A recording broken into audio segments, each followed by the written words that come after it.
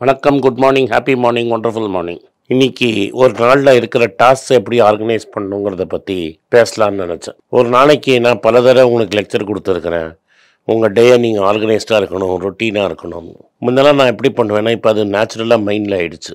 ஒரு நாளைக்கு அடுத்த நாளைக்கு என்ன இம்பார்ட்டன்ட் டாஸ்க்ஸ்னு முன்னாடியே ஆர்கனைஸ் பண்ணி வச்சுருவோம். ஸோ பத்து டாஸ்க் இருக்குன்னா ஒன்று ரெண்டு மூணு நாலு அஞ்சு ஆறு ஏழு பத்து டாஸ்க் இருக்கும். அந்த டாஸ்கில் வந்து மற்றவங்கள மீட் பண்ணுறது இருக்காது. ஸோ மீதி இருக்கிற பத்து டாஸ்க்கை வந்து நம்ம செய்ய வேண்டிய பத்து டாஸ்க்கை எந்த டாஸ்க்கை ஃபஸ்ட்டு செய்யுது எந்த டாஸ்க்கை கடைசியிலே செய்யறதுங்கிறது ஒரு பெரிய கஷ்டம். எப்போதுமே கார்த்தால் நீங்கள் முதல்ல எழுந்தோடனே டஃபஸ்ட்டு டாஸ்க்கை நீங்கள் ஃபஸ்ட்டு செய்ய ட்ரை பண்ணணும். இந்த பத்து டாஸ்க் இருக்குன்னா ஆர்டர் ஆஃப் டஃப்னஸில் ரேக் பண்ணுங்க.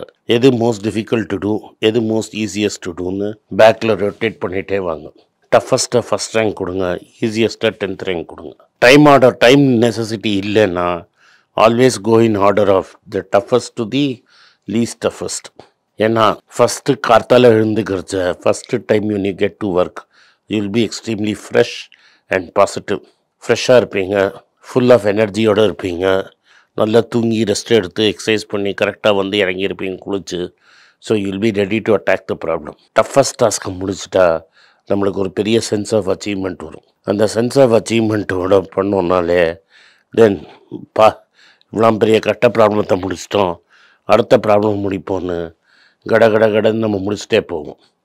ஆஸ் த டே ப்ரோக்ரஸஸ் நம்மளுக்கு டயர்ட்னஸ் ஒன்றும் வரும். ஃபட்டீக் வரும். மற்றவங்கள்ட்ட பேசணும்னு தோணும். டீ பிரேக் காஃபி பிரேக் எடுக்கணும்னு தோணும். இது மாதிரி நிறைய டிஸ்ட்ராக்ஷன்ஸ் வரும்.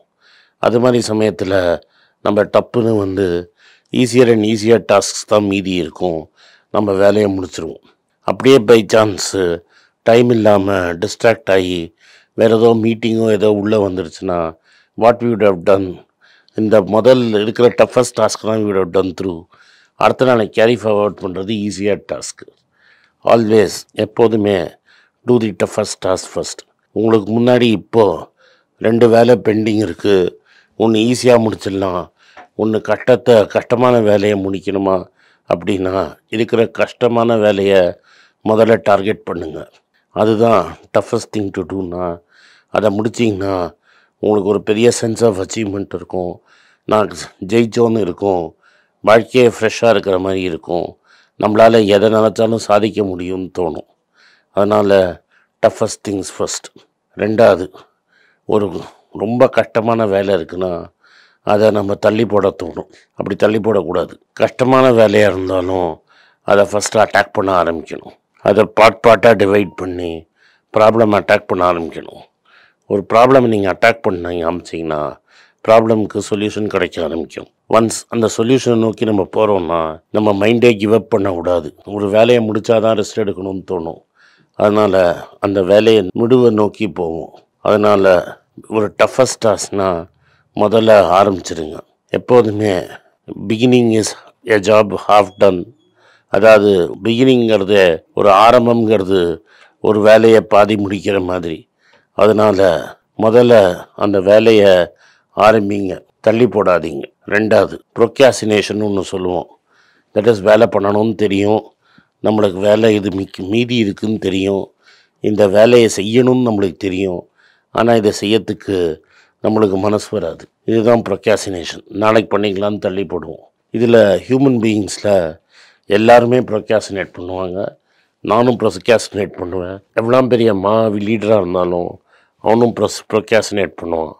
ப்ரொக்யாசினேஷனுங்கிறது ஒரு ஹியூமன் ஸ்பெஷாலிட்டி ஆனால் ஹை அச்சீவர்ஸுக்கும் சாதாரண மனுஷனுக்கும் என்ன வித்தியாசம்னா ரெண்டு பேரும் ப்ரொக்யாசினேட் பண்ணுவான்னா இந்த ஹை அச்சீவருக்கு எந்த வேலையில் ப்ரொச ப்ரொக்யாசினேட் பண்ணணும் எதில் ப்ரொக்யாசினேட் பண்ணக்கூடாதுன்னு நல்லா தெரியும். எது ரொம்ப அர்ஜென்ட்டோ ப்ரொக்ராசினேட் பண்ணால் புட்டுக்கும் தெரியுமோ அதில் ப்ரொக்ராசினேட்டே பண்ண மாட்டான். அவனால் எதை விட்டு வைக்க முடியும்னு தெரியுதோ அதை மட்டும்தான் முட்டு வைப்பான் அதனால் ப்ரொக்யாசினேஷனை ஹை பர்ஃபார்மாக ரிப்பேர் பண் பை பண்ணுங்க. எது கிரிட்டிக்கல் டார்கெட் எது நாட் ஸோ கிரிட்டிக்கல்னு நம்மளுக்கு தெரியணும். கிரிட்டிக்கல் டார்கெட்டை மட்டும் நம்ம டப்பு டப்புன்னு முடிக்கணும்.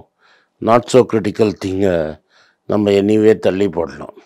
அதனால் வாட் இஸ் இம்பார்ட்டண்ட்டுங்கிறத நம்மளுக்கு நல்லா தெரியணும். இது பேர் ப்ரையாரிட்டைசேஷன்னு பேர். நம்மகிட்ட நிறைய ப்ராப்ளம் இருக்குன்னா எந்த ப்ராப்ளம் அட்டாக் பண்ணணும்? அப்படின்னு நம்ம ப்ரையாரிட்டைஸ் பண்ணணும். என் நம்ம ஃபஸ்ட்டு எந்த ப்ராப்ளம் எடுக்கணும்னா என்டையர் மிஷனே ஜாபே க்ளோஸ் ஆகிடும் இந்த வேலை பாயிண்ட்டை நடக்கலைன்னா அந்த வேலையை தான் எடுத்து முதல்ல செய்யணும்.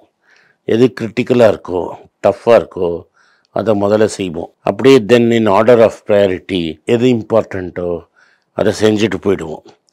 எல்லாத்தையும் ஒரே சமயத்தில் பண்ண பார்த்தோன்னா நம்ம காணாமல் போயிடுவோம். அதனால் குயிக்காக ஒரு மேப் மாதிரி மென்டல் மேப் போட்டு எந்த வேலை செய்யலைன்னா கம்ப்ளீட்டாக புட்டுக்குமோ அந்த வேலையை ஃபஸ்ட்டு செய்யணும். ஸோ ஆர்டர் ஆஃப் க்ரிட்டிக்காலிட்டிலையும் நம்ம ரேங்க் பண்ணணும். டைமை வேஸ்ட் பண்ணுறதுல நிறைய பேர் நிறைய ஸ்பெஷலிஸ்ட்டு ஆனால் ஒர்ஸ்டாக நீங்கள் டைம் பிஸியாக இருக்கும்போது வேஸ்ட் பண்ணுறதுக்கு ஒரே வழி தான் இருக்குது ஒரு வேலையை சூப்பராக செய்கிறது பா நம்மளுக்கே பெருமையாக இருக்கும். நம்மளா இது மாதிரி ஒரு வேலையை செஞ்சோன்னு நம்மளே நம்மளை கை தட்டிப்போம் மர தட்டிப்போம். இது மாதிரி வேலையை நம்ம செஞ்சோன்னு ஏன்னா அந்த வேலையை பர்ஃபெக்டாக பண்ணப்புறம் கூட ஏன் டைம் வேஸ்ட்டுன்னு நீங்கள் சொல்கிறீங்கன்னா இப்போ அந்த வேலை தேவையில்லை. இன்னைக்கு அந்த வேலையை நான் முடிச்சதுனால எனக்கு ஒன்றும் கிடைக்க போகுதில்லை அதே மாதிரி வேலையை நீங்கள் பர்ஃபெக்டாக பண்ணி என்ன யூஸ் இப்போது சமுத்திரத்தில் அலை வருது. நிறைய பேர் சான்ஸ் கல்ச்சர் பண்ணுறாங்க மழை பெய்ய போகுது ஹை டைட் இருக்குது தண்ணி உள்ளே வரப்போகுதுங்கிற சமயத்தில் நீங்கள் அழகாக ஒரு சான்ஸ் கல்ச்சர் பண்ணீங்கன்னா அது யூஸ் கிடையாது. ஏன்னா பார்த்து முடிக்கிறதுக்குள்ளேயே மக்கள் வந்து பார்த்து அதை என்ஜாய் பண்ணுறதுக்குள்ளேயே என்ன ஆகும்னா மழை வரும் தண்ணி ஓஷன்லேயும் அடிக்கும் தண்ணி அடிச்சிட்டு போயிடும். அது கரைஞ்சிட்டு போயிடும். ஒரு ஸ்கேன்ஸ் கல்ச்சர் பண்ணால் கூட அது ஒரு பத்து நாள் இருந்தால் தான் மக்கள் அதை பார்த்து என்ஜாய் பண்ணுவாங்க. ஸோ அதனால் வேலையை கரெக்டாக செஞ்சால் மட்டும் போதாது. இடம் ஏவல் பொருள் தெரிஞ்சு தான் ஒரு வேலையை செய்யணும். இப்படி தான் நீங்கள் உங்களோட டாஸ்க் ஆர்கனைஸ் பண்ணணுங்கிறது என்னோட ரிக்வெஸ்ட் நன்றி வணக்கம். இந்த வீடியோ உங்களுக்கு பிடிச்சிருந்ததுன்னா லைக் பண்ணுங்கள் எங்கள் சேனலை சப்ஸ்கிரைப் பண்ணுங்கள் பெல் நோட்டிஃபிகேஷன் தட்டுங்க. பெல் நோட்டிஃபிகேஷன் தட்டலைன்னா ஒரு ஒரு வாட்டி நாங்கள் வீடியோ போடுறச்ச உங்களுக்கு நோட்டிஃபிகேஷன் வராது. நோட்டிஃபிகேஷன் வரலைன்னா இம்பார்ட்டண்ட் வீடியோ மிஸ் ஆகிடும் இதை மட்டும் பண்ணால் போகாது எங்களுக்கு ஒரு உதவி செய்யுங்க. உங்கள் சொந்தக்காரங்களுக்கும் ஃப்ரெண்ட்ஸுக்கும் இந்த சேனலை பற்றி சொல்லுங்கள் நன்றி வணக்கம். அடுத்த ஈவெண்ட் எங்கே நீங்கள் டீம் பிளான் பண்ணும்போது நிறைய பேர் என்னை வந்து கத்தருக்கு இன்வைட் பண்ணிட்டு இருக்காங்க ஸோ கத்தரில் அடுத்த ஈவெண்ட் பண்ணால் நீங்கள் டீம் டிசைட் பண்ணாங்க. இந்த ஈவெண்ட் வந்து ஜான்வரியில் கடைசி வாரத்தில் இருக்கும். கத்தரில் என்னை யாராவது சந்திக்கணும்னு நினச்சிங்கன்னா கீழே இருக்கிற வாட்ஸ்அப் நம்பரும் இமெயில் ஐடிக்கும் மெசேஜ் அனுப்புங்க. நன்றி வணக்கம். உங்கள் பேராதரவுக்கு மிக்க நன்றி. நான் டோட்டலாக ஐந்து புஸ்தகங்கள் எழுதியிருக்கிறேன். மூணு வந்து ஆங்கிலத்தில் எழுதியிருக்கிறேன். அதில் ரெண்டை வந்து தமிழாக மொழிபெயர்த்திருக்காங்க. ஸோ டோட்டலாக அஞ்சு புஸ்தகம் ஆச்சு. இந்த அஞ்சு புஸ்தகத்துக்கு ஹார்ட் காப்பி வேணும்னா நீங்கள் கீழே இருக்கிற வாட்ஸ்அப் நம்பருக்கு மெசேஜ் அனுப்பிச்சிங்கன்னா எங்கள் டீம் உங்களை காண்டாக்ட் பண்ணுவாங்க. இந்த ஐந்து புஸ்தகங்களில் மூணு புஸ்தகம் வந்து கிண்டலில் இருக்குது அமேசானில் கிண்டலில் வாங்கணும்னு ஃபீல் பண்ணுறவங்க நேராக கிண்டலில் வாங்கிக்கலாம். தமிழ்லேயே யாராவது ஃபைனான்ஸ் நியூஸ் படிக்கணும்னு ஃபீல் பண்ணீங்கன்னா தயவு செஞ்சு மணி பேஜ் டாட் காமை விசிட் பண்ணுங்கள்